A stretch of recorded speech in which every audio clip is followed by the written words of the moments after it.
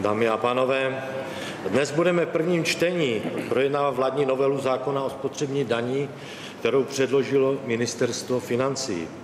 Ve zkratce bych řekl, cirka 100 litrů nafty pro každou krávu.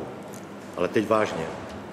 Je to další z opatření, které se dohodly společně s představiteli agrární komory u pana premiéra Sobotky na pomoc agrárnímu sektoru. Jsem rád, že tento zákon je už konečně na stole. Připomínám, že vláda svým usnesením uložila ministerstvu financí a ve spolupráci s ministrem zemědělství rozšířit zavedení vratky spotřební daně také na zemědělce se živočišnou výrobou, a to už 7. prosince, prosím, minulého roku. Přestože tato novela je velmi jednoduchá a stručná, ministerstvo financí ji předložilo až na jednání vlády 18. dubna letošního roku. Vzhledem k oznámenému střetu zájmu ministra Babiše i pak na zastoupení podepsal pan ministr Ťok.